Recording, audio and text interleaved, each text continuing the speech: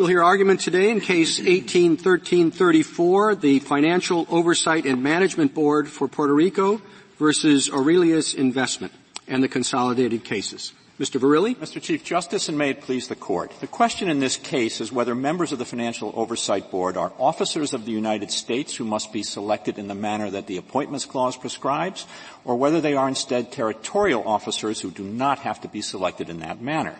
The Constitution's text, structure, and history and this Court's precedents all make clear that the proper focus in answering that question is the nature of the authority the Board exercises. It comes down to whether Congress has vested the Board with the executive power of the national government or instead vested the Board with the territorial executive power. The statute that created the Board, PROMESA, answers that question in a straightforward way. It, it sets up an entity within the territorial government it gives the board only territory-specific authority and instructs the board to pursue only territory-specific objectives. The board acts on behalf of Puerto Rico as its representative in judicial proceedings to restructure the territory's debts. It pursues only Puerto Rico's interests in those proceedings. It's up to the Article III court that adjudicates those proceedings to balance all the competing interests. Congress also instructed the board to implement a method for restoring fiscal stability. That too is territorial authority.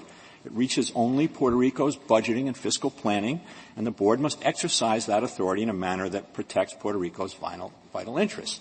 Now, Congress did build in protections to guarantee the board's independence. Congress did that because it concluded that Puerto Rico's staggering financial and humanitarian crisis could not be solved unless the board was insulated from the political pressures that caused that crisis in the first place. But Congress also insulated the board from federal control. Board members can be removed only for cause, which means that the president cannot remove them based on disagreement with the board's policies or priorities in implementing PROMESA. When you put all that together, it's, the board is in the territorial government. It's been given statutory directives to uh, advance the interests of Puerto Rico, and it's insulated from federal control. It's clear that board members are territorial officials, so not how, officers. How can that States. be, Mr. Verrilli? Um, it seems to me that your very argument that it's independent is suggesting it can't belong to the territory and that there's a serious problem and the federal government is creating an entity that no one can control. Neither Congress nor the President can remove this entity for anything but cause. Tell me how this differs from a U.S. attorney. A U.S. attorney is an officer of the United States. I think you accept that. A U.S. attorney is enforcing federal law in Puerto Rico, the U.S. attorney of Puerto Rico, just the way PROMESA is. And a U.S. attorney doesn't have jurisdiction outside of Puerto Rico. So how is the U.S. attorney different? So let me make a general point and now specifically answer the U.S. attorney question. The general point I think it's important to make clear. We don't say, contrary to our friends on the other side, that the appointments clause doesn't apply in Puerto Rico. It applies in Puerto Rico just like it applies in a state, in that federal officials, officials who are part of the federal government, have to be appointed in conformity with the appointments clause, could you including do this? the could you U.S. pass attorney. From, could you pass? Could Congress pass a law um, like PROMESA for a state? No, I don't think so, because the difference between that situation and this situation is Article 4. And I really think that gets to the heart of the matter, Justice Sotomayor, that I think the, the beef that my friends on the other side have is not with the Appointments Clause, it's with Article 4. And the difference between this situation and a state is that Congress has reserved authority under Article 4 to alter the structure of a territorial government and to prescribe territorial law. It's substantive territorial you, law. Um, give a, at least a quick answer to sure. the first part of Justice I, Sotomayor's question. Yes, of course. The difference, I think, the key, the key difference between a U.S. attorney and the board is that the U.S. attorney is executing laws of nationwide application. The, the, U.S. Criminal Code, Title 18. The U.S. Attorney in Puerto Rico in that respect is no different than the U.S. Attorney in New York. The board does not implement laws of nationwide application. It implements a But law all laws don't have nationwide application, even federal laws. Some federal laws have local application as opposed to national. They're still federal law because they were passed by Congress and they're federal dictates. This but, is no different for the U.S. Attorney. Uh, I, I, do think it's different in a fundamental way, Your Honor. It is territory specific. It applies only to the territory of Puerto Rico, and the board's authority is to is to act in the interest of the territory of Puerto Rico in the in the. Uh, well, Mr. Verrilli, I mean, suppose that um, Congress looks at Florida, and it says that there are a lot of hurricanes there, and the waters are rising, and we have a terrible Florida problem, and Congress passes the Florida Reclamation Act, and it's supposed to deal with uh, uh, you know the Florida problem that it perceives, but uses federal law to do so would you say that I think the, your your uh, phrase was the executive power of the national government? Would the head of the agency that the Florida Reclamation Act sets up be exercising the executive power of the national government? Yes.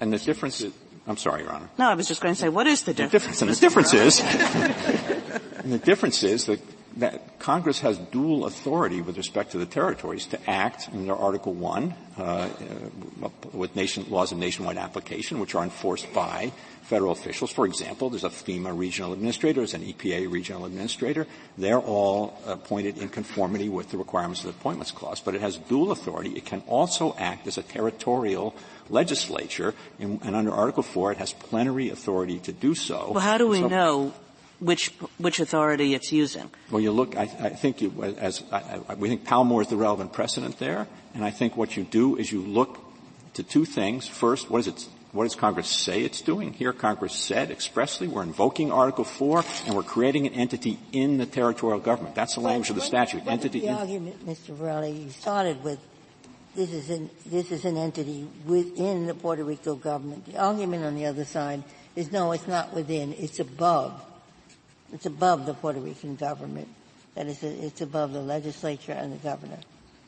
Yes, and that's and, and, that's simply an incorrect characterization. I think it misinterprets independence for superintendents, and I think if you think about it, um, it's just not right to say that what you've got here is a federal overlord or a federal master in the language of, of the First Circuit. Because think about what Congress did here. First, it said that the, that the board's authority is territory specific, and then it said that the board is supposed to act on behalf of Puerto Rico and represent Puerto Rico in the restructuring proceedings. It's not supposed to advance the broad interests of the United States. It advances Puerto Rico's interests, and similarly with respect to its well, budget. Wasn't Congress thinking about the broad interests of the United States? I mean, here it was. It was looking at this terrible financial crisis in Puerto Rico and considering a wide variety of options to address that crisis. Now, one option could have been some kind of financial bailout.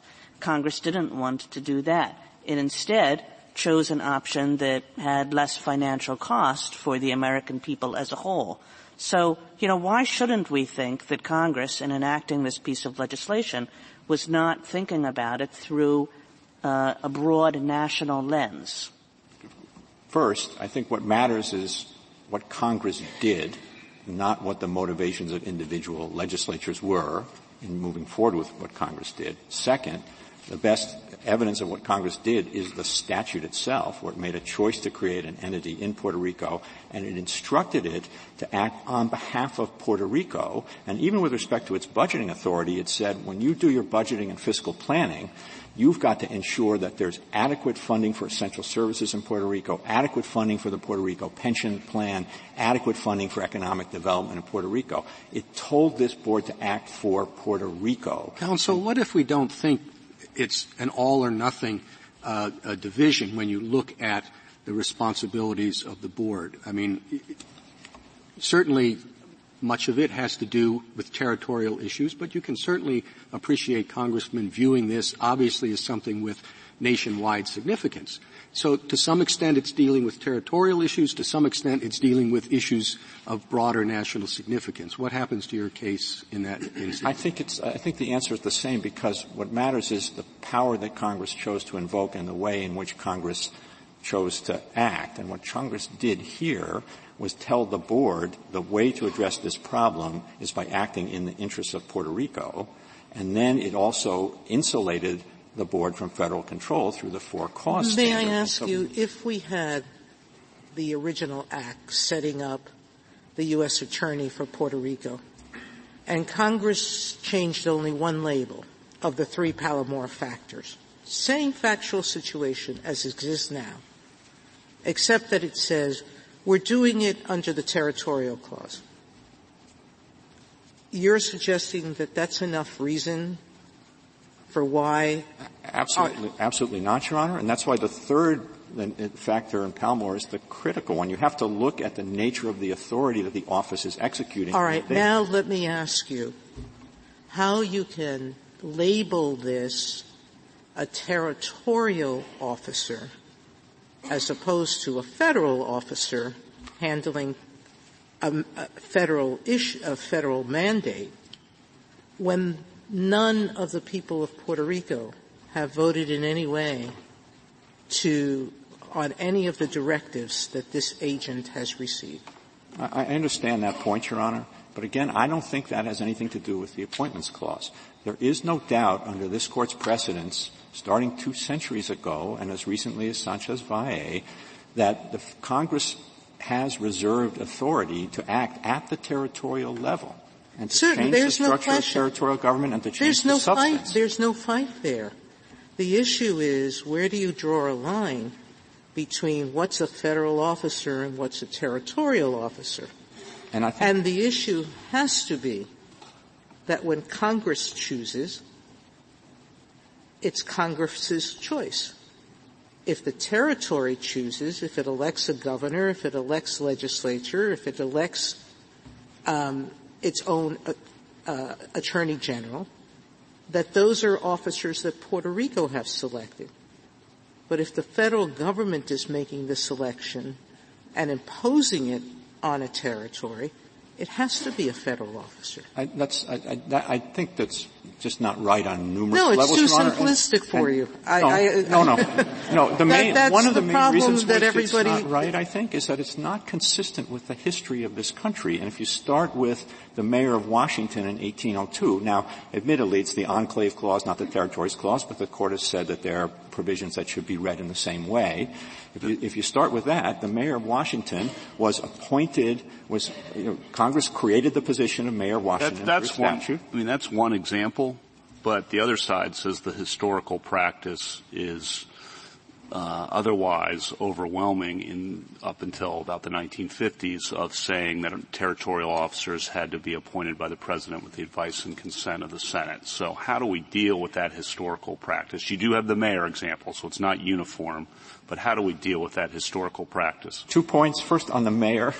I think the mayor of Washington is ex- an extremely significant historical marker because after all, the presidents who made those appointments every year during that period were Jefferson and Madison. And if they had thought that, that the appointments clause applied in a situation like that, certainly I, we would I agree have with heard you. that. I agree with you. It's and now but assume the yeah, history but, is still. But with respect, to the, the history they have essentially is that territorial governors up until uh, the 1950s were appointed with advice and consent. And judges. But, and, territorial judges. But I actually think that let's go right to the judge's point because I think that actually proves our position and not theirs. Because even though territorial judges were always um, uh, nominated by the president, confirmed by the Senate, this court held starting in Canter and then also in Englebrecht and McAllister that they weren't judicial officers of the United States, despite the fact that the president nominated them and the Senate confirmed them. And then to reinforce that, there have been three times in the country's history where uh, a question arose about whether a territorial judge could be impeached by Congress. And in each of those three instances, the political branches concluded that a territorial judge could not be impeached because the territorial judge was not a civil officer of the United States, but only an officer of the territory exercising territorial power. Now, with respect to the governors, of course, you know, the, the appointments clause is not an either or proposition. If it applies to the, the, governors as principal officers, it applies to the people the governor appoints as inferior officers, but starting with the Northwest Ordinance and continuing throughout the country's history, inferior officers have been appointed in manners that don't comply with the appointments Does clause. It, does, does it strike you as a little strange, Mr. Verrilli, to use the history in this kind of case so extensively? I mean, first, it's a little bit all over the map, and you each have your historical examples to point to. But second, the position of territories currently is so different from the position of territories throughout much or most of our history. So I, I, guess it seems to me more natural rather than to look to, you know, what the Northwest Ordinance did is, is simply to use a kind of functional test and say, are these people um, uh, doing the sorts of things that would be done by state officials uh, in states, or are they doing the sorts of things that would be done by federal officials? So, two things. First, respectfully, we think in interpreting the meaning of the phrase officer of the United States, which is the job that has to be done in this case, the history is very, very relevant. But second, even if one takes a functional analysis, I think the right way to look at the functional analysis is to look at the, what the board is actually charged with doing. And what the board is actually charged with doing is acting in the shoes of the government of Puerto Rico in the restructuring proceedings and acting as an independent entity insulated from political pressure within the budgeting proceedings, but, but constrained by statute to act on behalf of, in the interest of, for the territory. So if you're going to use a functional approach, they're very much like a state government, not a federal overlord. And I think this would actually be kind of a crazy system if what you wanted to do was create a federal overlord to say, you're a federal overlord, take the national interest to, into account, but uh, when you actually administer the, the authority you have, you have to only focus on territorial interests. What do we do about the brief of, at least there's one amicus that suggests that in one of the litigations that's ongoing with respect to PROMESA, that there's all sorts of evidence that the board is taking directives from federal officials. So, I, you know, that's brief, I, you know, respectfully, Your Honor. Uh, I think that shows the perils of relying on an amicus brief that relies on extra record information. The vast majority of those, of the, the documents there have not been disclosed, but if I may talk about them because I've been asked about them, the, the, the vast majority of those are communications from federal government officials to the board in the wake of the disasters and the hurricanes saying we need information about what's going on on the ground here, and so it was, it was informational, the overwhelming majority of them. Now they did find one communication from a Senate staffer, I think, or a House staffer, I think a Senate staffer, saying we want you to resolve issue X this way. Again, I've got to be outside the record to, to uh, answer that, but basically the board told them to pound sand. And so I don't think there's any merit to it whatsoever. Thank you, counsel.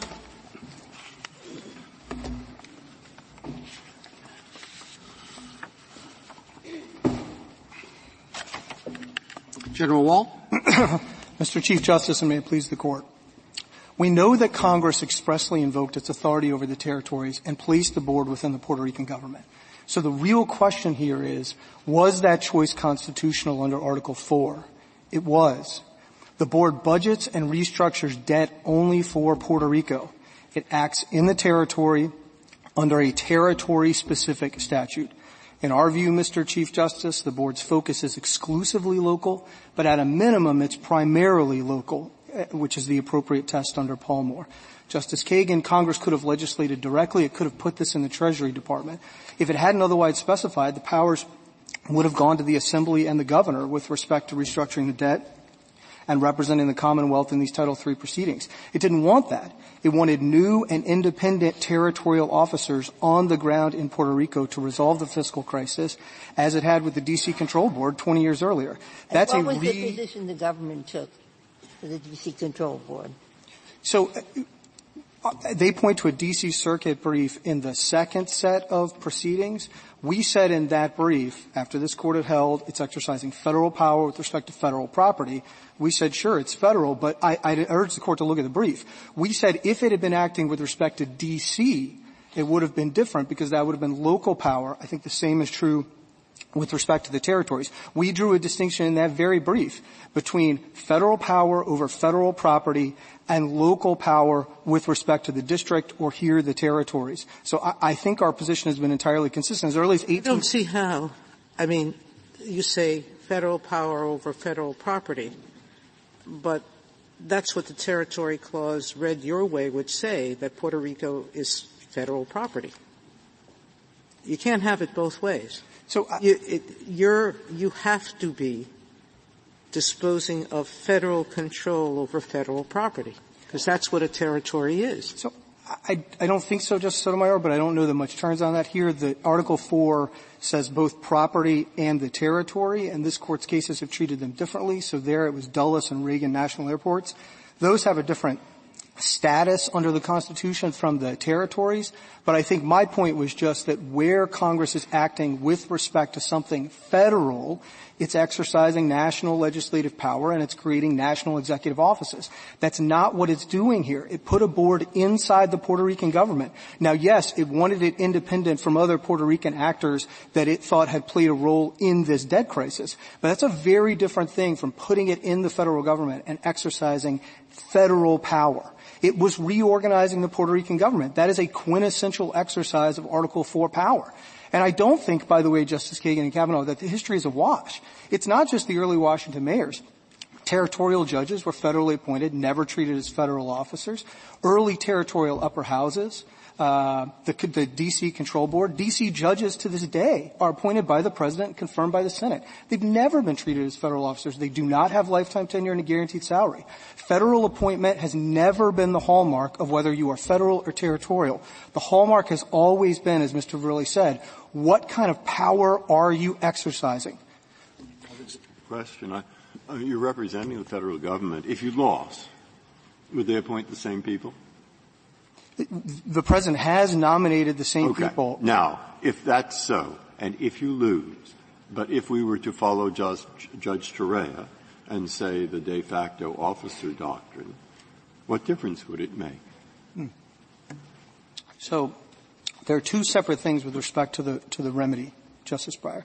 If the court agrees with us on the de facto officer doctrine, mm-hmm. that takes care of the board's acts running up through the court's decision. Mm-hmm. Going forward, I think all the parties now agreed we still need a stay of the mandate because you'd have to give Congress the opportunity to confirm a new board. Otherwise, the board would shut down overnight. You wouldn't have a board. So you got to give the Senate time to act, right? And then that new board would pick up where the old board left but off. But they would be the same people, and so what you're talking about is a delay of possibly days while the Senate gets its act together to confirm the people that they already recommended to the President, with one exception. Uh, I mean, are we talking, is that what we're talking about? You win, and there's no delay. You lose, assuming Judge Torruella is right, and there's a slight delay. That's what this case is about. Well, I, on that assumption. I, I, hope we're not in a world where we lose, and I would love to tell you that it won't be a big deal in that world, but it's going to be a little more complicated than that. They're almost certain to argue that the nominations have expired and that even though the Senate has confirmed people before to expired terms, it can't do that here. Even if we win that argument, and even if the Senate committee reports them out, and even if the Senate gets them through the floor during the period of the stay, and we get a new board, then they're going to argue that board has to ratify everything that was done during the period of the stay, and they're going to challenge that ratification, and of course that ratification will extend backward in time eh, further and further depending on what you do with the de facto officer doctrine. The, so, the, I mean, we're going to be litigating this for years on that view. It's just a question of how much we're going to have to litigate with them if we're, if, if the court decides Mr. we're wrong on the merits. Mr. Wall, do you have to still litigate that here? You're making an assumption that the de facto doctrine does go as far as you say, which is to deprive a winning party of no remedy whatsoever. That's not true. Uh, they will get prospective remedy, as all of the litigants did in the de facto officer cases, including Buckley. It, it, the second this court's stay expires, the board can no longer act with respect to Aurelius, Assured, UT, or anybody else. What the de facto officer doctrine says is even though you get meaningful prospective relief, we don't invalidate everything done moving backward in time that uh, the officer is alleged to have done while invalidly appointed. And so, and I think that's critical here because the board's been acting for three years. We have, uh, you know, nearly 100 adversary proceedings, hundreds of thousands of claims, hundreds of millions of dollars collected or paid out, $12 billion in bonds issued in the Cofina Title III proceeding that have been traded on the secondary, on the market something like 85,000 times. I mean, I, I have no idea how one unwinds this. Uh, and I don't think that uh, that Aurelius and UT have given any real way to do it. And that's exactly what the de facto officer doctrine is for. We don't wipe everything out in the past.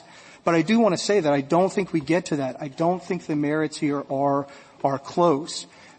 Congress did its homework. It invoked Article 4. It told us where it was putting I, I thought your argument would be that if you lost, there would also be a lot of legal ramifications in terms of calling into question the status of elected governors judges, territorial judges and the like. Is that not the case? Well, I think it depends on which of their four or maybe five tests you pick. They start with Buckley. If they're serious about that, just significant authority under federal law, that's the D.C. mayor, city council, the Guam and Virgin Island governors, and all territorial legislators and judges. All of that authority flows directly from federal law, whether an organic act or the D.C. Home Rule Act. So then they tweak Buckley to say, well, not if you're elected. And then I say, well, but you still don't solve DC judges, territorial judges, Washington mayors, early territorial upper houses of the DC control board. And then they say, well, it's executing federal law, maybe it's a special law, maybe it's federal objectives, maybe it's federal removal, and there's a hodgepodge of other factors thrown in there. If the court accepts those, notwithstanding that there are historical counterexamples to every one of those tests, then I suppose you could try to carve out the test in just a way as to pick this up. But I don't think there's any principled way to do it. All of the federal authority that these territorial officers and DC officers exercise flows from federal law. And if you take their test seriously, yes, Justice Kavanaugh, it will threaten to undermine, indeed I think it would condemn in its entirety home rule. I mean, I, and, and that just points out, I mean, there's both a, an upper level and a lower level disruption here. The lower level disruption is undoing three years of what the board has done to try to stabilize the condition in Puerto Rico. The upper level disruption is every test they've got runs smack dab into history. And every test they've got would federalize some number of officers who have always been thought of as territorial or local, whether in DC or in the territories and it, like I say, I mean, from 1802 to now, I mean, if if uh, if Mr. Olson is serious that significant authority under federal law makes you a federal officer, well, then so too the D.C. judges, who that the immediate that you're looking at the ultimate source, which is a double jeopardy idea. Um, and our and our opinion in Sanchez Valle made it very clear that it was limited to that um, much different result if you limit it to what's the immediate source. Oh, yes, I don't disagree that that's kind of an, an, ad hoc limitation that they've thrown on to try to avoid the consequences of their view. But just to refine what you said a little bit, Justice Sotomayor, what, what I took Justice Kagan's opinion to be saying in Sanchez Valle is, look, there are other ways you could have defined sovereignty or you could have looked at sovereignty. But if we're looking at source of authority, the source of authority here flows from federal law. Well, their test is a source test. Their test is Buckley. Did you get significant authority from federal law? So maybe there are other tests they could have tried but to come up with. But you but could say that about the test. states. The Constitution is the source of their power, because the compact with the United with their very existence is dependent on that. But we don't define what a state act is or a federal act by their original source. Oh well. We, we define it by who passed the law, the state or the federal government. Well, except that under their test, and I think under Sanchez Valle, you've got to look at where that power flowed from. Where did you get that authority? And they keep saying authority under federal law. Okay, well, if that's your test, all of that authority, whether with respect to DC or the territories, flows from federal law. Now, of course, the problem with the test, Justice Sotomayor, is Buckley's a significance test.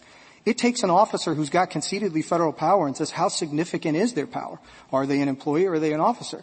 It's not designed to answer the predicate question of, well, are they exercising federal power or territorial power? That's the question that Palmore gets at. Is it a DC court or is it an Article 3 court? And the only way you know that is by asking two questions. One, did Congress invoke Article 1 or did it invoke Article 4? And then two, did it I'm do anything even, under Article I, I, 1 or Article 4? Why do you bother with the third?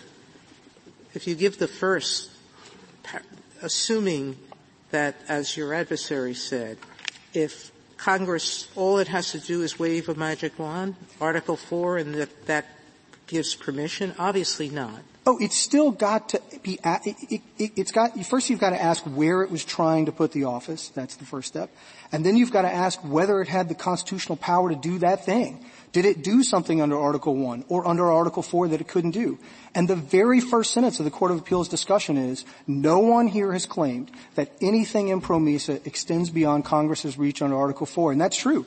There's not a word in these briefs from Aurelius or Utier claiming that there is any power vested in the board that is not not among Congress's plenary power under Article 4. That's the end of the analysis, I think, correctly understood.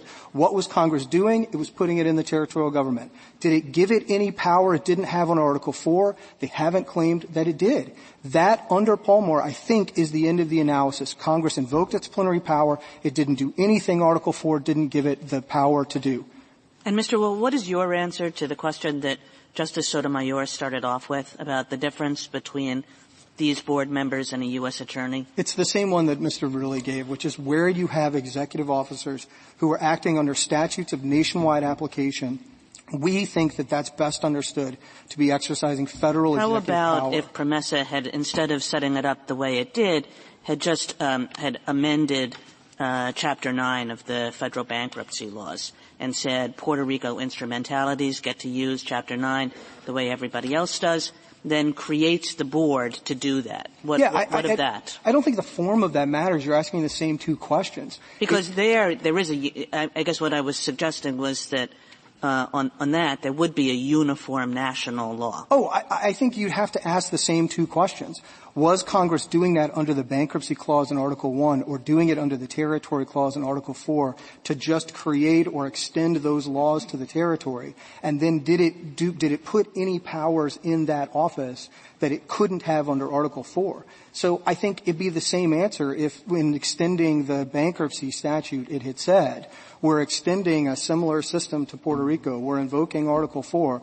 We are creating this new board to oversee these new bankruptcy proceedings, and we are putting that in the Puerto Rican government. Well, then it doesn't seem to have much to do with whether the law is nationwide or not, because my hypothetical was nationwide law, and you're saying it wouldn't matter because Congress said it was using um, Article 4. But it's got to be more than what Congress said, right? So I, I think that is pressing at exactly the tough question, which I'm going to say fortunately is not presented here because it's a territory-specific statute and it's only acting in the territory. But Palmore does say primarily local. And it's a little tough to figure out exactly what it means. It seems to think that if you're doing the DC code most of the time, rather than federal statutes most of the time adjudicating, you're local, which seems to point up that you can do a little bit of the nationwide thing without converting into a federal officer. And we know that's true of territorial judges. That's the best historical example. They were hearing matters in the territory, but they were adjudicating them under federal law. So I think that you're asking a really tough question about, well, what does local mean? Does it mean you're doing only the local matters, or does it go to the geographic scope of the statute under which you act? I think it's tough. Palmore seems to indicate the scope of the statute might matter. History seems to indicate it might not if what you're doing is local. And again, all I can say is I think this is the easy case because here we Although this case boxes. isn't all that different from my hypothetical, right? Because essentially what PROMESA does is it replicates all the procedures of Chapter 9. I mean, it's not coming up with a new uh, thing. I mean, it's, it's similar in most respects, but I actually don't think that changes the analysis. I mean, when the Detroit mayor walks in under Chapter 9 and files for municipal bankruptcy, we don't think that simply because he has invoked uh, some power granted to him by federal law that he becomes a federal officer. I mean, here the board st- it basically represents the Commonwealth. It's almost like the debtor.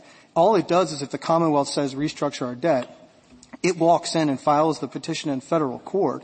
It then basically represents the debtor, not different from any other state or municipality, tries to work out the claims of the creditor, and then ultimately Judge Swain has to sort out the plan and confirm something in the bankruptcy. So I don't think in that respect it's acting any differently from any state or locality that declares under Chapter 9. It's still, under Palmore, it's still focused on local matters. Everything the board is doing, it's doing in Puerto Rico, which is why I don't think they've tried to claim, look, you needed any Article 1 power. All you needed was Article 4. Suppose Congress invokes Article 4 and puts it in the territorial government, as it's done here, but assigns some matters that, to pick up on Justice Kagan's questions, are more national than local. Is the remedy for that problem to say that that officer can't perform the more national duties, or is the remedy for that to say that uh, the the office is invalid because appointed in violation of the appointments clause? Well, first, Justice Kavanaugh, I don't want to, uh, to, to grant that that office would be unconstitutional. It's pressing at the tough question Justice Kagan was getting at. So what does Palmore mean by primarily? It seems to leave some room to do nationwide or federal things as long as you are focused on the territory. But if you assume that it's got to be exclusive, a test that I think we meet here, I think it's a hard question what the remedy would be. I think you'd still have the de facto officer potentially going well, back I'm to asking time, a different unless question. it's an adjudicator. Wouldn't, wouldn't the officer still be a valid territorial officer, but perhaps exercising some duties that he or she cannot exercise? I think that's a potential remedy. We haven't looked at that here. We haven't briefed it. I do think that it kind of it highlights the oddity of the other side's claim. It's not as if they're pointing to some federal power provision. Well, I think it highlights the difficulty, as Justice Kagan said, of the primarily local. Because the word primarily, you're very careful in your brief to have that each time you articulate the test. And I'm not sure how we're supposed to figure that out. Justice Kavanaugh, I think you need it there. We've known since Canter in 1826 that territorial judges are not federal officers. And yet they are adjudicating cases under federal law. They had general federal jurisdiction, just like state courts. It, it was exclusive until 1875. So I think you've got to have some primary test in there. I think you're going to have difficult cases at the margins, and all I can fall back on is this is not a difficult case because here there's nothing in PROMESA that needed to be an exercise of Article 1. By its terms, it is limited to the territory. It's not as if they can point you to some federal provisions of PROMESA that grant the federal power that you could just excise. It says represent the Commonwealth in the following ways. And, and I, do, I do, and I think this is the best way to capture it. Congress could have given these powers to the governor and the legislature. They'd already, they already had many of them. They could adjust debt. They could propose budgets and fiscal plans. The governor otherwise would have represented the Commonwealth in the Title III proceedings. If they had created the Title III proceeding, but not otherwise specified that the board would play a role, and the governor had filed this petition, I don't think anyone believes that would have converted the governor into a federal officer, any more than the mayor of Detroit or anybody else. To say just a quick word on the, on the, on the remedy, as we've tried to say, I think there are two things at play. The de facto officer doctrine, to be sure you have not applied it to adjudicators, that's Ryder, but you have more than a dozen cases applying it to legislative and executive bodies, that's Buckley. This is an executive body that's not doing adjudication, right? So I think it falls squarely within that uh, that set of cases, and indeed I think it's sort of the classic case for that, given the immense reliance interests that have been built up on the board over the next three years. Going forward, everybody agrees we need to stay in order to confirm a new board if you decide we're wrong on the merits. I think the right model there is Northern Pipeline. That was six months. Same thing here. You've got to get them out of committee. You've got to get them through the floor. They're going to have to do some amount of ratification, and then they're going to act to act going forward. At a minimum, though, I'd say we need three months with the ability to come back and report progress, just like what we did in the First Circuit, because we've got to allow Congress and then the board some time to to act. If the board is shut down in Puerto Rico, I do think it imperils a process on which we have made really substantial gains in the last three years in trying to stabilize the island's finances. And I can't stress to the court how important it is that the board be allowed to continue to do that work. Thank you. Thank you, General. Mr. Olson? Thank you, Mr. Chief Justice, and may it please the court. In Federalist 48, James Madison anticipated what Congress attempted to do with the PROMESA Oversight Board, masking under complicated and indirect measures its encroachment on coordinate departments, drawing all power into its impetuous vortex, he urged all precautions against the enterprising ambition of this department. PROMESA was a response to a national financial crisis affecting millions of American citizens, including 3 million citizens, American citizens in Puerto Rico. The PROMESA board is appointed, supervised, and removable by the President of the United States, reports regularly on its budget and decisions to federal officials, and makes recommendations, it's required to do so under the statute, uh, for changes in PROMESA and other federal laws, other federal laws. It presides over the largest municipal bankruptcy proceeding in United States history, managing over $100 billion in indebtedness, 165,000 claims, including over 200 clawback actions, lawsuits against major financial institutions, in a proceeding in an Article III district court designated by the Chief Justice of the United States. The board was effectively chosen. These are the words of the Congressional Committee, effectively chosen by members of Congress, all without the advice and consent of the Senate.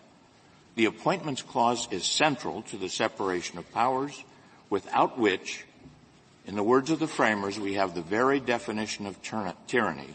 It was a response to the most insidious and powerful weapon of 18th century despots. If the board were elected, would it be constitutional? No, it would not be constitutional because how, and, and doesn't that mean the Puerto Rico governor election is unconstitutional as well? Then no, because the Puerto Rican authorities that are given to the Puerto Rican governor and under the Puerto Rican legislature are primarily local activities. I just described what the PROMESAS board powers are. They are national in scope.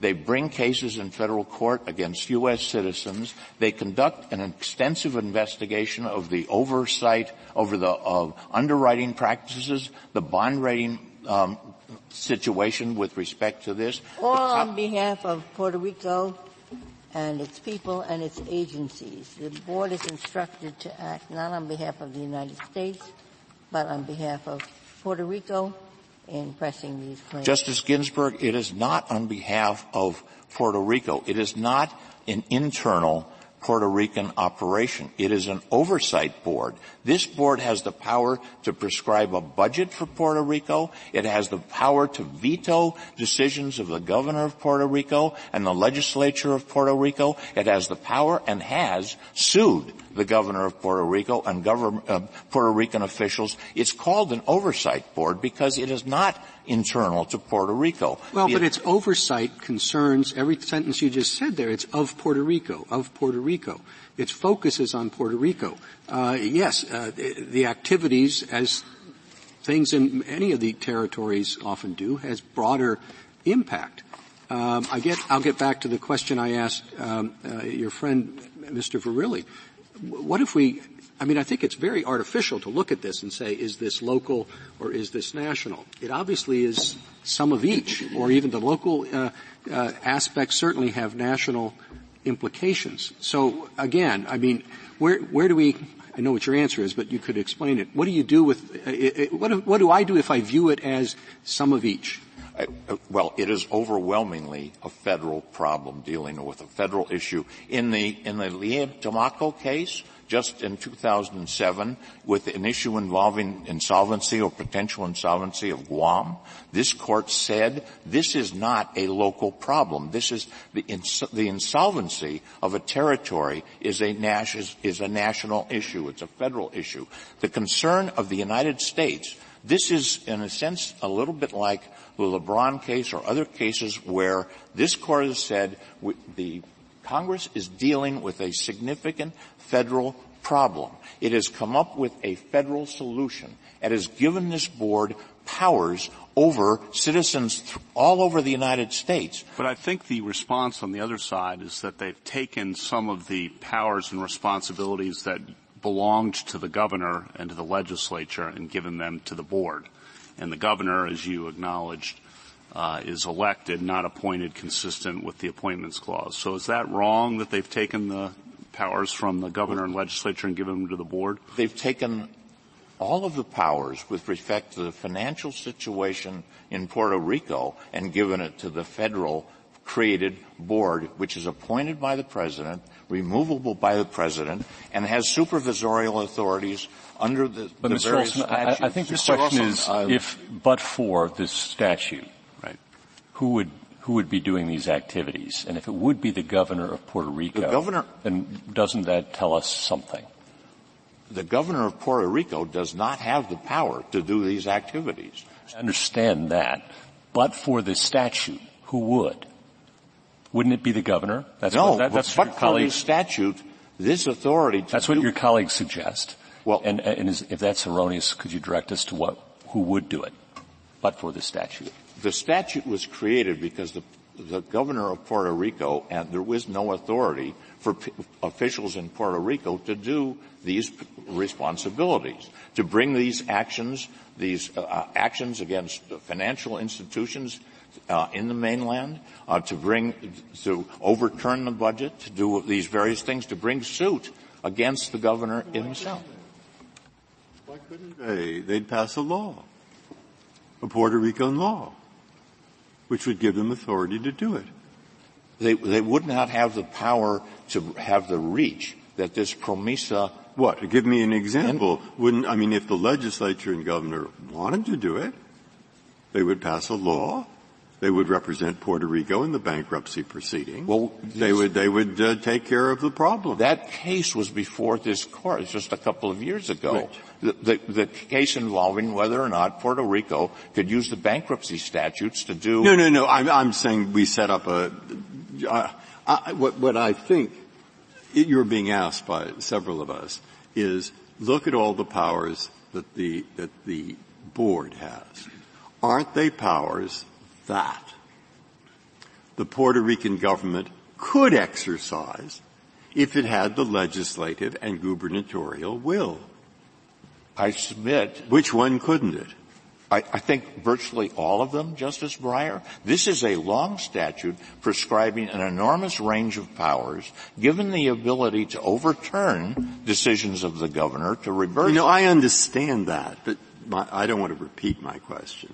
You see what my question was. I do Mr. see Olson, what I think the basic question, if I can simplify it, I believe, is couldn't the governor of Puerto Rico and the legislature have created their own fiscal rescue plan. Yes, correct? No, I don't believe so. I think Why? that was the case that, that would give the authority to adjust debts, to um, accommodate the various different creditors to. Oh, you're talking about uh, we, we are. Uh, okay, I guess your tension is that without PROMESA, the bankruptcy law wouldn't have changed to permit Puerto Rico it, it to would, file it would not. its action. And this statute went so, far beyond the bankruptcy powers. The powers that are given to this board are vastly greater than powers that are available. So what you're basically Olson, uh, saying is without this federal law creating this structure, the structure itself couldn't exist under existing law. That's correct. Justice so the Alito? legislature couldn't do it. That's correct. Uh, Mr. Olson, uh, are you and your client here just to defend the integrity of the Constitution, or would one be excessively cynical to think that something else is involved here involving money? And if so, what is it? What did the board do that hurt your client? Well, with my aside from the constitutional right uh, to an officer. Well, I mean, are you are you and Aurelius here just as a as a amici uh, to defend the Constitution, or do you have some kind of a concrete grievance? The, the, process is not complete, Justice Alito. The process is ongoing. My client is being subjected to a process that is governed by officials that were appointed in violation of the separation of powers. So that, since it isn't complete, we can't describe the degree to which someone might have been hurt. But the courts, this court said over and over again that it's fundamental that an officer of the United States must be appointed pursuant to the Appointments Clause. That is fundamental to the separation of powers, which is fundamental to the Constitution. I mean, you don't have to answer this if you don't want to, but th- there is no money issue involved here. Of course there, of course well, what is it? There's over. I'd just like to know what, this is a real case. I'd like to know what's really going on here. Well, there's, there's over $100 billion of indebtedness being adjudicated in various procedures, a lot of which. Right, and your client wants more of it and somebody else you think is getting too much. So what is it exactly, if you want to answer? If we not. Can't, we can't possibly answer that. There are these extraordinarily large claims which the governor, which the um, agencies of Puerto Rico have defaulted on, have not been able to pay these claims. So yes, you're right. Of course it involves a lot of money. And the money is in a process that's being adjudicated by a federal district judge appointed by the Chief Justice of the United States. Didn't your client acquiesce in some settlement?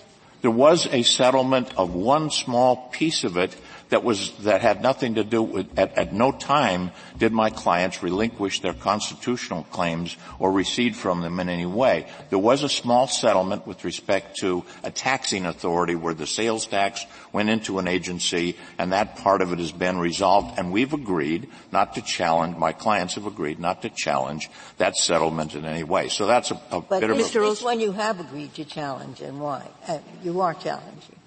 Pardon? What is the difference between what you agreed to and you're not challenging, and now what you're challenging? What we're challenging is the, the remaining part of the procedure, which is the, the, giant part of it. This is a small piece of it that was settled in some way, and, and there was really basically no choice because the board was ongoing and a settlement was reached with respect to a small segment of the resources. But in no way did my clients um, relinquish its constitutional rights to an appointment uh, under the appointments I see that, Jane. I, I want to ask you a question that I think you I'm may. sorry, Justice Ginsburg.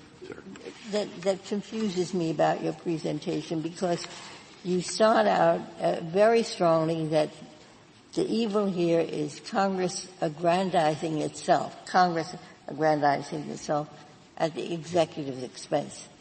How about the member of the board that's appointed by the president alone can't be any question of Congress aggrandizing itself. Congress has given the President alone that authority. So would it be unconstitutional in your view if all of the members were appointed by the President, not subject to the advice and consent I don't get how that. They would. They. These are principal officers of the United States, not inferior officers. Therefore, principal officers under the Constitution must be appointed nominated by the president. But what does that have to do with Congress aggrandizing itself at the executive expense? Well, the the, pre- they, the president appointed one without advice and consent of the Senate. That violates the appointments clause. The other were pursuant to lists. How about the DC Control Board? Were they're all appointed. Well, there's that that has never been adjudicated. The government itself, in connection with the D.C. Control Board, took the position in an Office of Legal Counsel opinion that that was a federal agency. There has never been a resolution of that. The D.C. Control Board has vastly uh, more limited powers with respect to local matters, and our, our opponents uh, bring up and rely on the Palmore case, which had nothing to do with the appointments clause. It wasn't an adjudication or wasn't a discussion up, of. Excuse me. They bring up home rule more generally, and that's uh, of serious concern here. Is if you were to prevail here, what would that do for home rule in the territories with elected governors?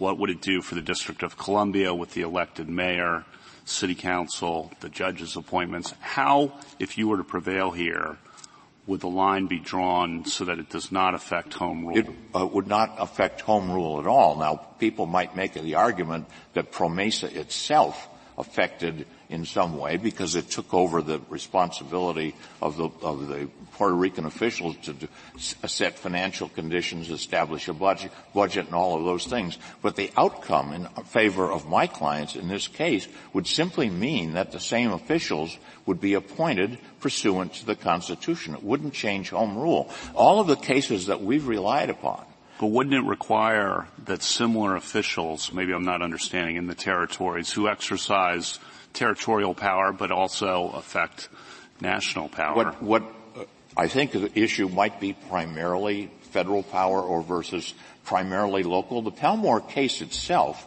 which our opponents rely on, repeatedly says in that opinion those were primarily or exclusively or largely, there's various different adjectives used in that opinion, local D.C. criminal proceedings, criminal law under the laws of the District of Columbia. And this court has repeatedly likened the power that can be exercised in the territories under the territorial clause or under the clause that gives power over the District of Columbia, local territorial matters, the type of authority that may be given by a state to a local municipality. Congress enacts the D.C. Code, right? The D.C. Code is enacted by Congress. Yes, the, well, it's changed over time, but but um, at, at, a certain point in time, yes. But but the fact is that there is a difference between primarily local authority, and this, that's discussed in the in the Palmore case. The so, reason that so that does sound like uh, the test that is being used by Mr. Verrilli and Mr. Wall. I mean, they've said that your test is kind of malleable. And I, I guess what I'd like, what is your test? The test, my test is this court's test, which was articulated in the Buckley case, again in the in the but you know what, what struck Lucia me, case. What struck me when I uh, read that, when I read your brief, the Buckley te- test is significant authority pursuant to the laws of the United States. And I guess what struck me was that uh, in, on many occasions you modified that test in your brief. You said significant federal authority pursuant to the laws of the United States. And when you do that, it strikes me that you're coming actually pretty close. I mean, and if you agree on a test, that seems not a bad thing. It seems as though when you say significant federal authority, you're coming pretty close to what Mr. Wall and Mr. Verrilli have Well, we've looked at each of the cases that are cited both in our briefs and our opponents' briefs, including the United States briefs.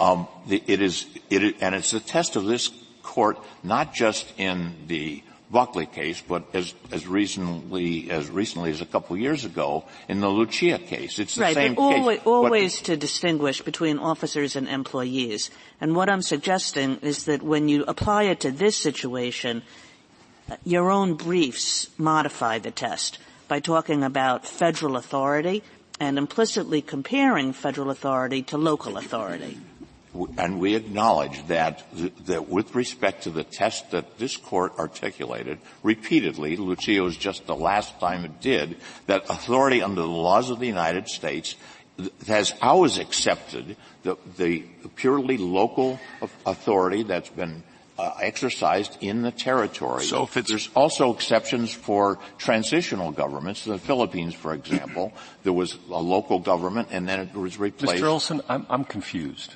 I honestly don't understand what the difference between your test and the government's test is in this case.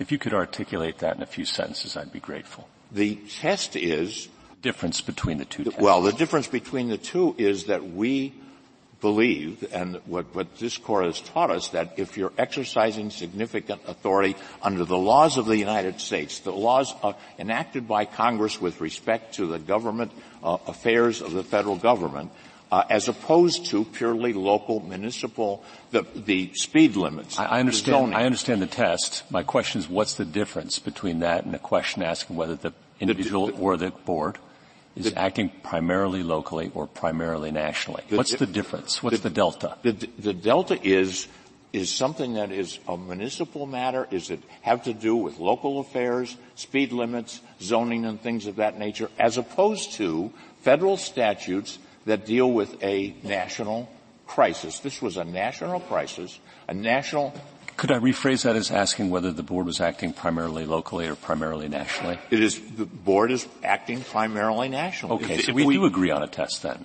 Pardon me? So then we do agree on the test, right? Whether, whether the board was acting primarily locally or primarily nationally. Well, that part of it, yes, because okay. those, the, what this court has said uh, repeatedly is that where there is local municipal authority, Congress has the power under Article 4 to give government and, and regulate the affairs uh, in um, so it's primarily as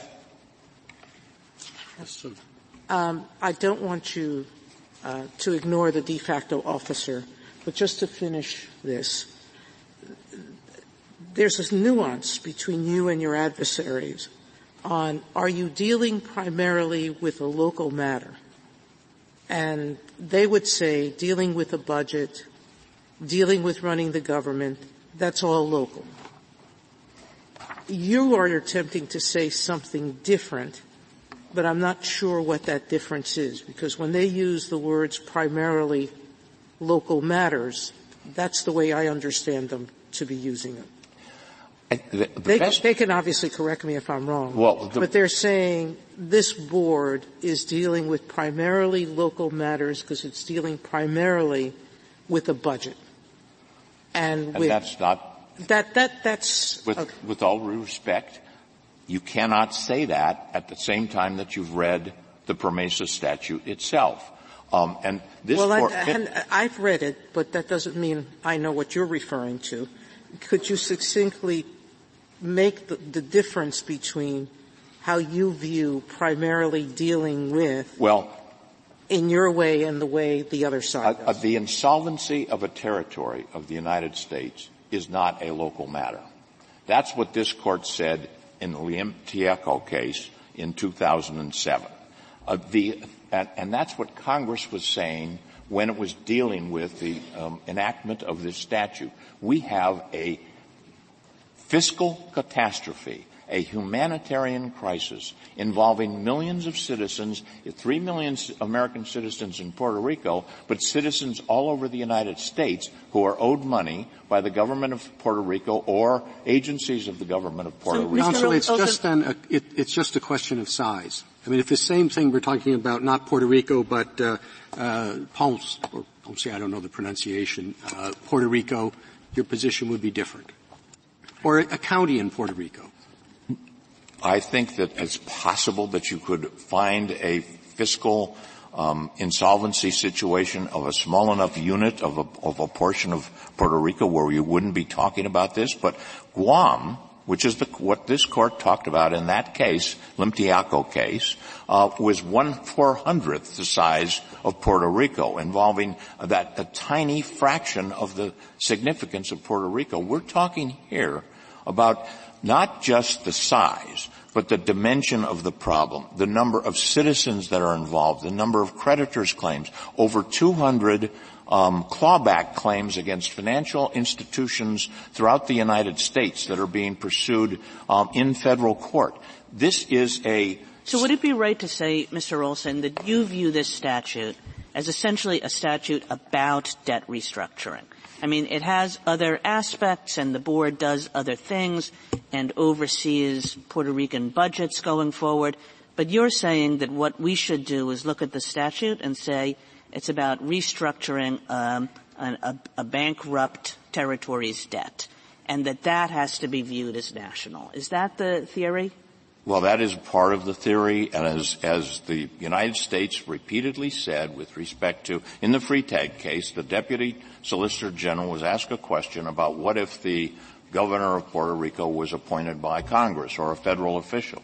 Uh, and the response from the federal government was that would invoke, in every case, the appointments clause. Did that Deputy Solicitor General prevail on that position? That Deputy Solicitor General made a beautiful argument. and, and fortunately for him, the court did argument. not decide that precise case. But that, but that argument that was made is the same argument that the United States has made in 22 OLC in 1978 when it was talking about Guam, in 31 OLC, in the brief in the Hechinger case, which was the follow-on to the Metropolitan Washington Authority's case. That was a very, very important case. If we conclude that the powers and duties here are primarily local, and I know you disagree, but if we conclude that, do you lose? The, uh, I suspect that if there's, if there's an agency in Puerto Rico that's dealing with purely local problems, like the, keep, like the article. I'm sorry to interrupt. You keep saying purely local. Well, primarily. I'll okay. accept that There's primarily. a big, big difference. well, there's a big, dif- it may be a big difference and it may be important in this case. Um, Palmore case was talking about relative, it wasn't purely local, but it was primarily local. The court used exclusively, but I think the court meant in the Palmore case, those courts that were dealing with uh, uh, problems in the District of Columbia involving District of Columbia criminal laws. So if the focus is on that, of course there are state officials that can enforce federal law. Um, that's always been the case from the beginning of the Constitution. So it is primarily what's being involved here. This is the, the Congressional Budget Office itself looked at this particular statute and said this is a federal office. The, the LeBron case that looked at Amtrak. Can I just try the question again? If, if we conclude it's primarily local, do you have an alternative argument or do you lose?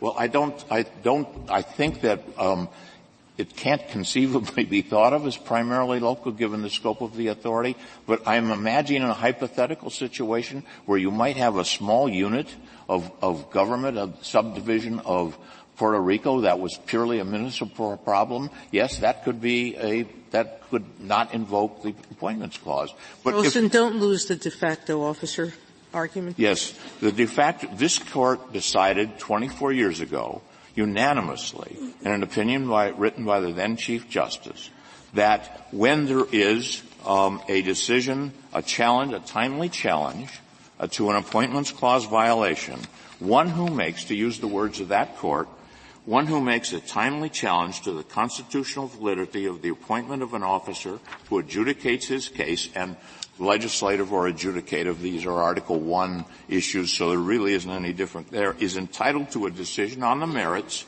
and whatever relief may be appropriate. I heard the government say just a few minutes ago that we've done all these things. We've made all those decisions. So put the Constitution aside. Let us continue to do that. Let us have the fruits of the decisions that we made with unconstitutional officers who could never have even filed. I think that they are making a distinction between adjudicatory and legislative decisions. I don't think they seem to be saying that when it comes to legislative officers, that we have applied the de facto officer status. In more recent times, you're absolutely right. With adjudicatory officers, we have said no, you have to give people a new hearing. So deal with that distinction and well, deal with why that's wrong. I don't think that there is a valid distinction in, in a vacuum between an adjudicatory process. Look, the Lucia case was an administrative law judge that was exercising what the court perceived as partially adjudicative problems, but also conducting Article 1 activities enforcing the laws of the United States. And this agency has that same authority that overlaps both. But the Ryder case on which you place such reliance, it, it was qualified. It said the defendant could object to the mode of appointment of a judge who adjudicates his case. And this board is not adjudicating any cases. The, the federal district court is. Justice Ginsburg, I would submit that the, the, this board is both adjudicating and enforcing the laws in the same sense and has many of the same powers that the administrative law judge had in the Lucia case. And so that that distinction simply doesn't hold up. It's acting on behalf of the debtor agency in Puerto Rico.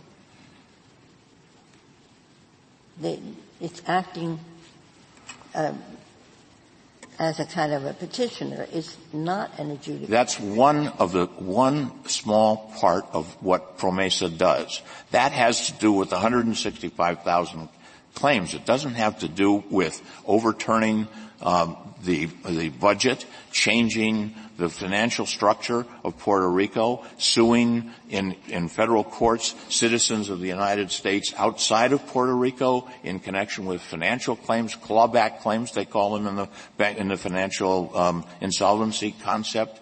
Um, if one were to look at all of the authorities, and I have to finish with the point that these officials are appointed by the President of the United States, an officer of the United States, removable by the President, and what this Court said in the Bowser case, that means that that's the official that they must fear and therefore obey, um, and is supervised in Section 2148, 2121, 2127, 2143. These are reports recommendations, responsibilities that the oversight board must constantly give to officials of the United States, and therefore supervision.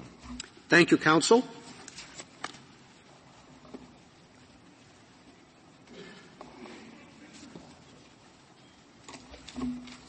Ms. Mendez-Colberg. Mr. Chief Justice, and may it please the Court. I would like to address the issue of the insular cases, the remedy, and, and also some of the, question, the questions of the Court. If we stand in front of this building, we will see the words equal justice under law. The insular cases stretch that tenet into its breaking point. The court-made doctrine of territorial incorporation means that when my clients, and even myself, return to Puerto Rico, we will have a lesser set of constitutional rights than what we have standing here today. On the other hand, the First Circuit decided that my clients suffered a constitutional injury, but still they were left without a remedy. Equal justice under law should mean the same thing here in DC than in Puerto Rico. It should reject ideas grounded on it should reject classifications grounded in ideas of alien races and savage people. It should also mean that when there is a constitutional injury, justice requires a remedy. Now, in this case, the, uh, the, First Circuit stated correctly that the insular cases hover like a dark cloud over this case. And it is true because the opposing parties have been relying on the insular cases since the beginning of the proceedings to establish that even the structural provisions of the Constitution don't apply to the people of Puerto Rico because I think here everybody was everybody was agreeing that the Article uh, One uh, Article 2 uh, does apply. And so whether you have the insular cases or not, and I agree they're a dark cloud, but the, the, the, it doesn't matter here because the provision of the Constitution does apply. And I thought what was more, which I've been trying to work out, and you may have looked into this, is what about the Federal Relations Act? See, if, if in fact, you, you would be the one who might have thought of this, uh, but it does give these powers, to deal. And the deal is uh, the legislature of Puerto Rico and the governor do this. But there was a reservation. There was a reservation for the uh, uh, uh indebtedness. And that reservation was eventually repealed in 61. And when it was repealed, the legislature passed a, they, they passed a constitutional amendment in Puerto Rico uh, promising that they would pay uh, creditors and that they had some priorities and so forth. Now, is that relevant? I've begun to think that the partnership, the Estado Libre Asociado, is, is, is more served by considering this a local law than considering it a federal law. Because if, a, if it's a federal law, it really is hard to reconcile with the, the FRA, but not so hard if it's a local law. Have you thought of that at all? If you haven't thought of it, forget it. I'm just, I'm, I'm, I'm, I'm, I have a, a, tough problem in my mind on that, and, I, and if you have thought of it, I'd appreciate what you think. I, um, well, Your Honor, we would forget about it, but the, the problem here is that actually what Congress did was to, yes, say that this, that these are territorial officers, but it actually gave this, the, the oversight board powers that are not necessarily what, what the powers uh, of, a, of of a territorial officer are considered to be. The, the, oversight board has the authority, and as Mr. Olson mentioned, has the authority to file this bankruptcy proceedings, which is a federal power be, on behalf of the government, but also we see that they have the authority to impair contracts, which is something that wasn't mentioned before. Impair contracts even outside of the, of the scope of the bankruptcy proceedings, which is in the Title two of PROMESA, if the board uh, understands that a contract made with the government of, by the government of Puerto Rico with other parties is inconsistent with the provisions of PROMESA, it can uh, it can it can even prevent the execution of those of those contracts. So that is a very significant power among the other powers that the oversight board has that not even the, the, the government, the local government of Puerto Rico has. Now, I do want to, to, to, to stress on the issue of the insular cases because it is important for the people of Puerto Rico and for my clients. Um, the, it, this is a, a, doctrine that, that has been uh, 118 years that it that has been um, that has been good law. And here I want to stress that it is a, it is a matter of overruling the insular cases and the doctrine of territorial incorporation. It is a matter of constitutional and law, but also a matter of who the United States is as a well, nation. Justice, as Justice Breyer has pointed out, none of the other parties rely on the insular cases in any way. So it would be very unusual for us to address them in this case, wouldn't it? Well, Your Honor, they relied on the insular cases since the beginning of the proceedings. Actually, the, the unsecured creditor, creditors are still relying on the insular cases at this point. Now, it is very convenient for the other parties to not to rely on the insular cases in the lower courts, where there is no authority to overrule the, these cases. But that, but then, when we come before this court to say that they are not relevant, still um, as I as I was about to mention, the insular cases comply with all of the factors that this that this uh, court established in in Janus, especially the quality of the reasoning, because it is based purely on racial considerations. To say that some provisions of the Constitution don't apply to the unincorporated territories because they are of a different race. That's the that's the root of that doctrine. Now, I thought the argument was that the appointments clause does apply to Puerto Rico, and the question is simply whether it's implicated on these particular facts with respect to this particular agency. Yes, so I, I, I, guess again, I just don't see the pertinence of the of the insular cases.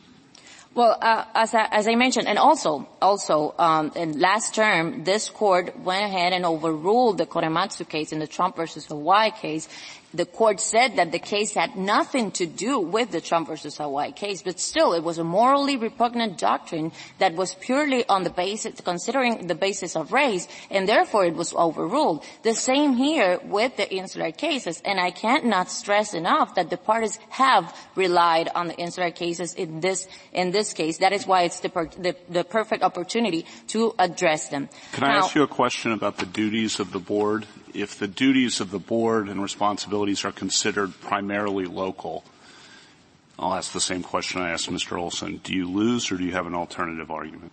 Your Honor, I, I don't think that we, that, that the, uh, the authority of the board can, can, can be considered purely local. I understand that, but if, if we conclude otherwise, you, is there an alternative argument or is that the end of the case?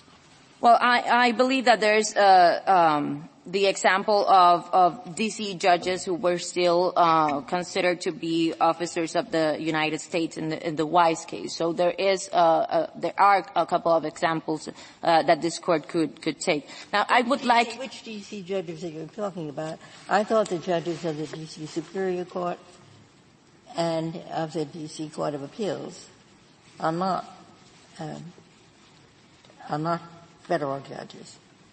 Well, Your Honor, I'm talking about the, the Wise case, and um, but still, the the the, the issue of, of, the purely local affairs of, of, of, the oversight board cannot stand, and we, if we look at the the authority that it was vested on these officers through Promesa. Now, I would like to address the remedy because I think that it is very important for for us to address that.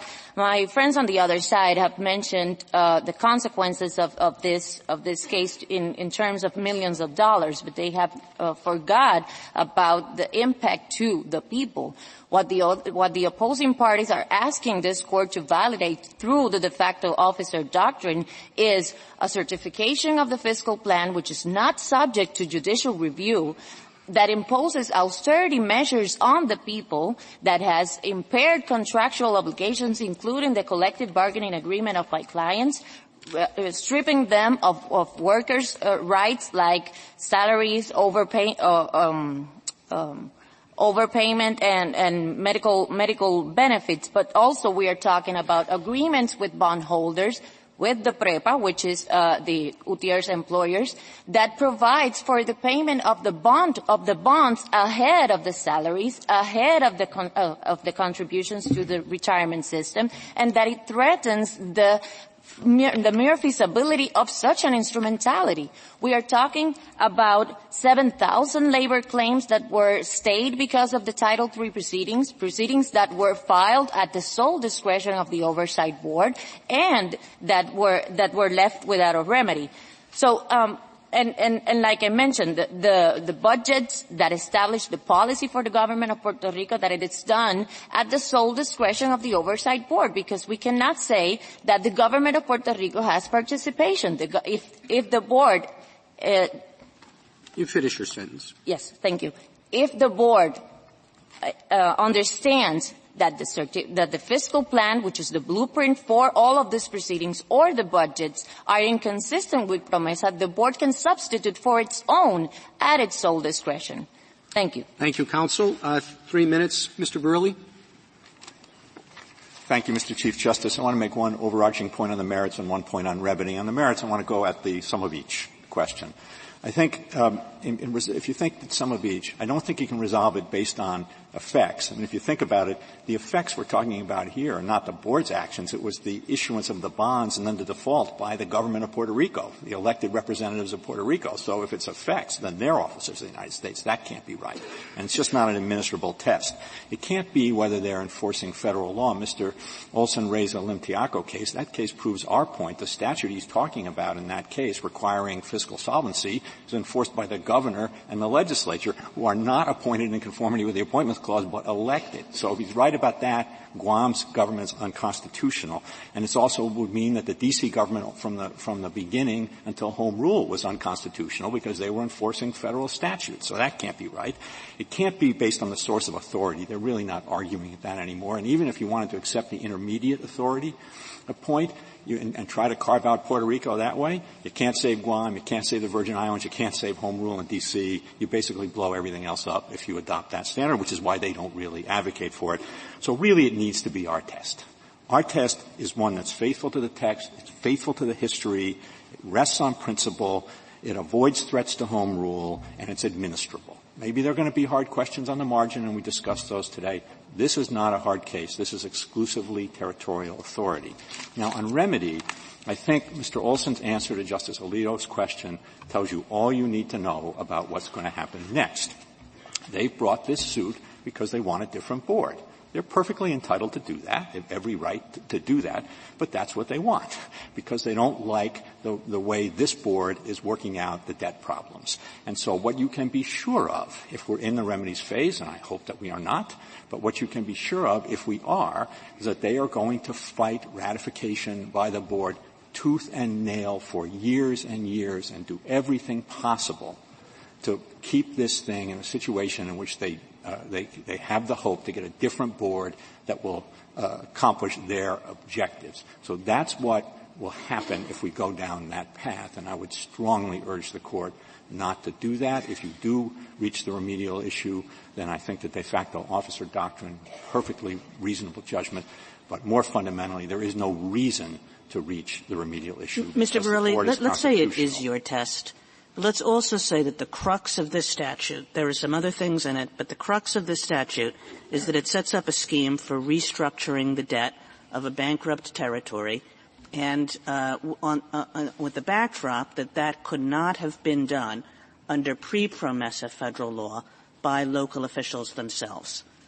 Why is it primarily local? My answer, Mr. Chief Justice. Uh, two things. First, you wouldn't think that the mayor of Detroit was converted into a federal official because he took Detroit into bankruptcy under Chapter 9. He's still exercising his local power. Same with the board.